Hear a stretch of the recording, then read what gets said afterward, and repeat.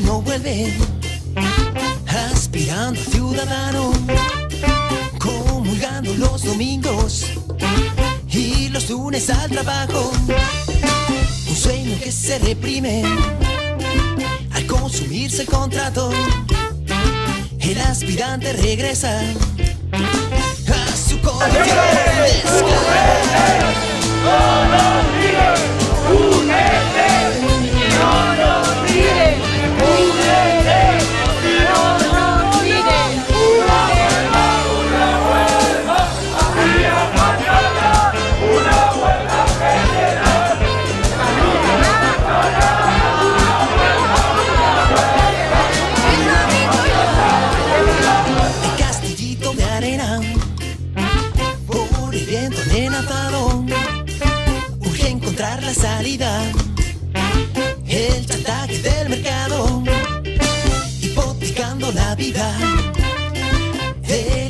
se ha salvado.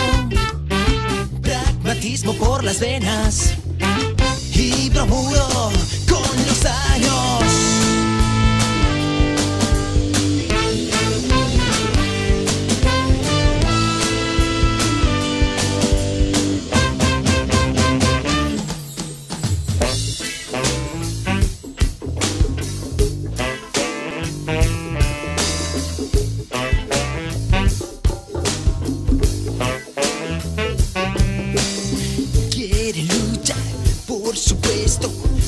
y pasa por el lado, confunde verdad con mentira para no volver al paro.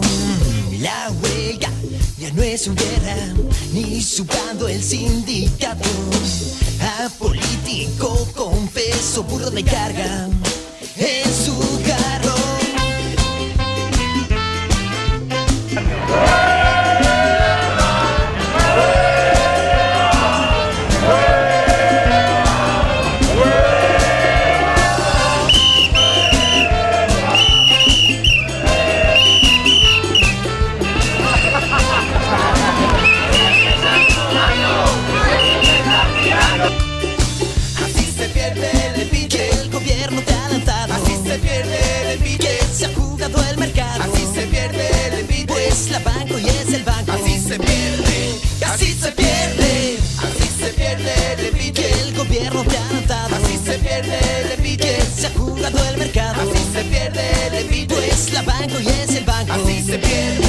así se pierde.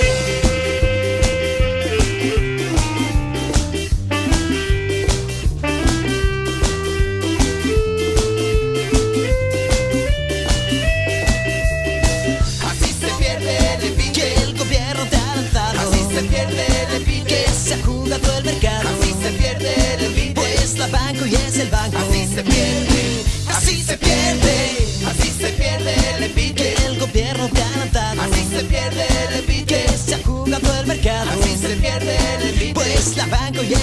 Así se pierde, que así se pierde.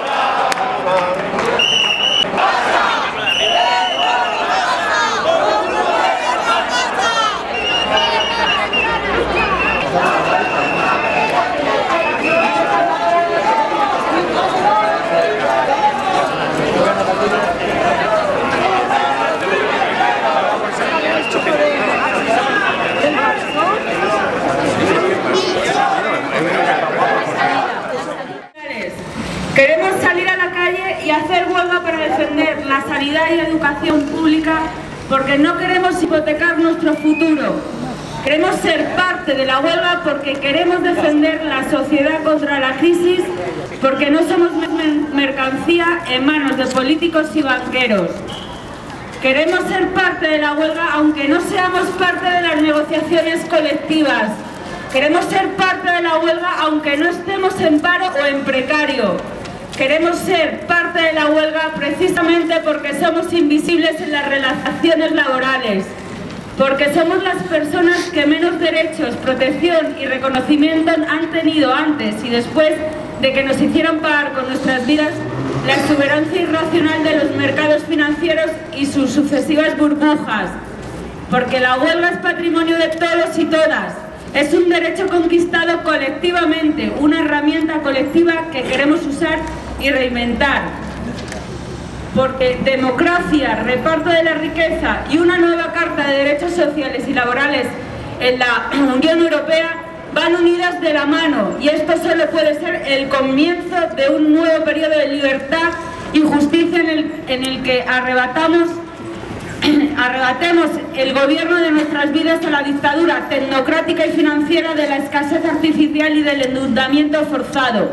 A quienes se obstinan en desmoralizar diciendo que una huelga general no cambiará nada, les decimos que el rechazo a la huelga es el absentismo, es, eh, perdón, la huelga, el absentismo son el principio del cambio cuando la colaboración es coactiva, y el trabajo se vuelve esclavo y ni siquiera garantiza la supervivencia. De quienes dijeron que refundarían el capitalismo, no podemos esperar otra salida de su crisis que la tierra baldía de empobrecimiento masivo y el miedo. Queremos los derechos en las relaciones laborales que nos han quitado y queremos nuevos derechos en nuestra obligación, es nuestra obligación de conseguirlos para las siguientes generaciones. Queremos un trabajo digno y unas condiciones que nos protejan. Por esto y por mucho más, a la huelga el día 29 de marzo, no a la reforma laboral. ¡Huelga, huelga, huelga! ¡Huelga,